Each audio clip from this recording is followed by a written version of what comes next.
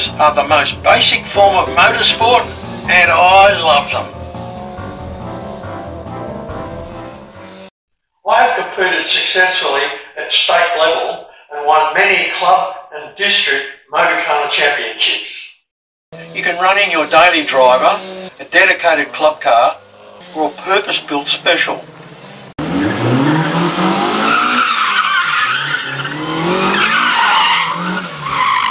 About 10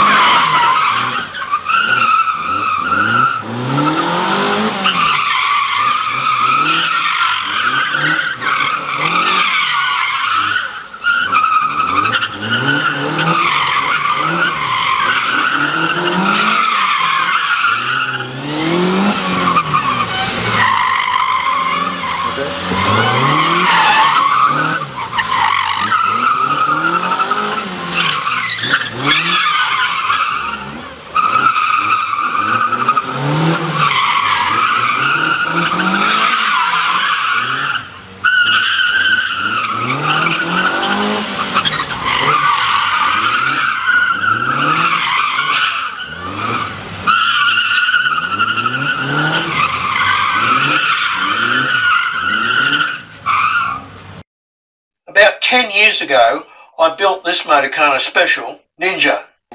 Everyone who drove it came back laughing their heads off because it was just great fun. But during a period of unemployment, I had to sell it to keep paying my mortgage. Something unavoidable, but that sale is something I have always regretted. I know where Ninja is and could try to buy it back, but I'm going to build a new one. And this is why, underneath all this junk, is the ideal donor car with 90% of what I need to build a Motorkhana Special. When my wife upgraded to a newer Corolla, I got the old one. Absolutely nothing wrong with it. And I've been waiting four years to give it a new life in motorsport. Three years ago, I put the winter treads off my Civic Rally car on the Corolla and did a Motorkhana with it in stock standard form and had a barrel of fun. I figure when I get too old to keep chucking the Civic on my truck and driving the distances around Australia that doing the state hill climb series requires, that I'll still be able to do Motorkhanas because there's a local club grounds less than 20 minutes right from here. I'll show you step by step how to build a Motorkhana Special. This is the ideal base in my opinion. It's a compact front wheel drive automatic sedan. I haven't started in three years. Let's see what happens.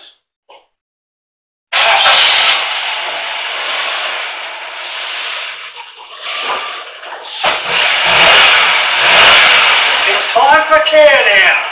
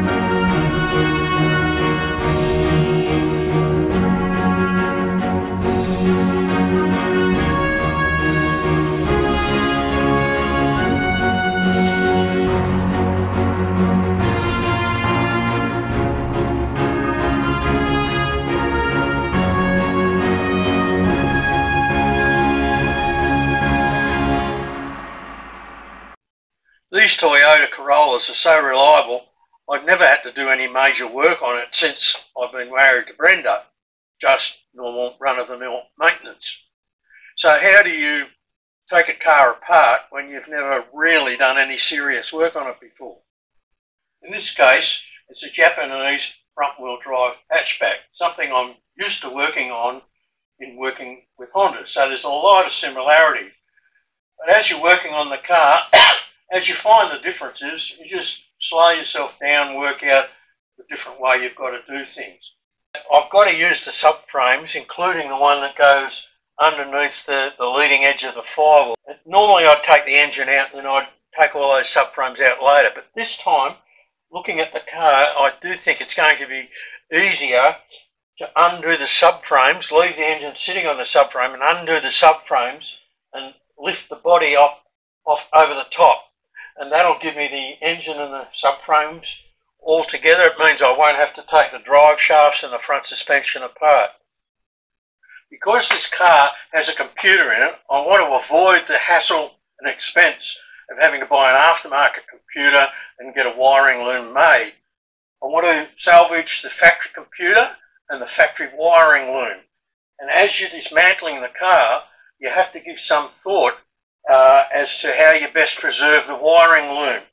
There are some things that obviously won't be needed, like headlights, and what I do is I mark the plugs on the wiring loom as I go, uh, like I've marked the radiator fan clip so that I know that's the wire I've got to keep. Whether or not I'll strip some wires out of the loom or not, it's not really that important. We'll see what happens and what I feel like later on. But the, one of the issues is where does the wiring loom join to the engine? What do you need to, where do you need to undo it so you can separate the, uh, the engine from the, uh, from the electronics that go through and under the dash. And like I said, I'm used to Hondas, but this is quite different. It looks like there's three places where I may have to undo the wiring loom, where it goes around the engine bay and it comes back through on the driver's side into the driving compartment. It does the same on the passenger side, and it looks like the main engine wiring loom goes back through the middle of the firewall to the computer, which is down probably behind the dash. So my next job to be able to unplug that loom, because I don't want to cut it, is to um, find where that plug goes from the engine to the computer so that I can undo it. And that means taking out all the dashboard. Here's a couple of cases in point. I could cut it off, but it's just easier to leave it attached to the wiring loom. Means I won't have any problems. Uh, and another case here is this major fuse box, which includes the EFI. And uh, to be able to uh, disconnect the wire going to the engine, I have to remove the base from underneath and unclip those plugs, which allows me to take that with the engine and then the wires that connect into that, I can um, remove the wiring loop.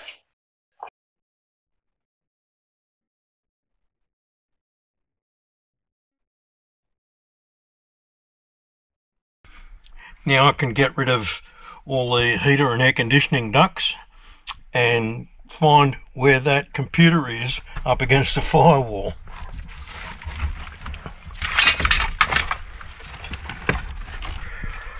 Somewhere in there is the computer.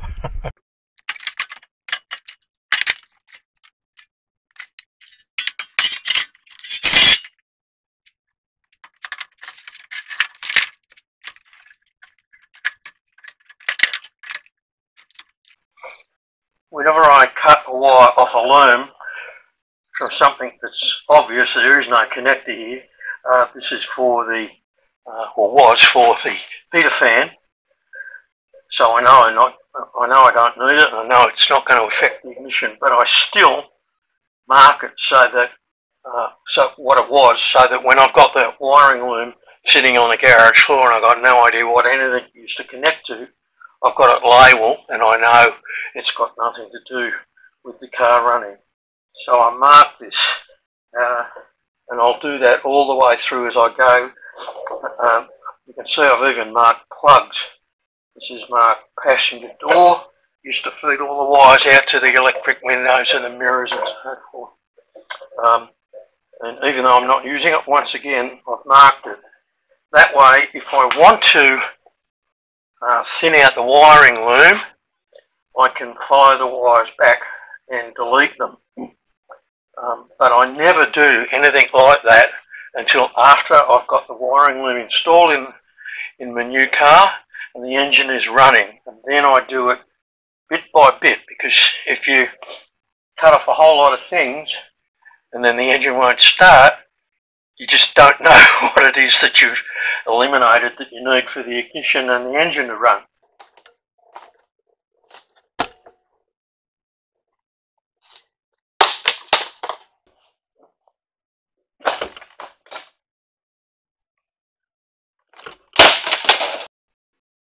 Now I've got all the heating and cooling and the dashboard out of the way. At last, there's the computer and there's the wires that go to the engine.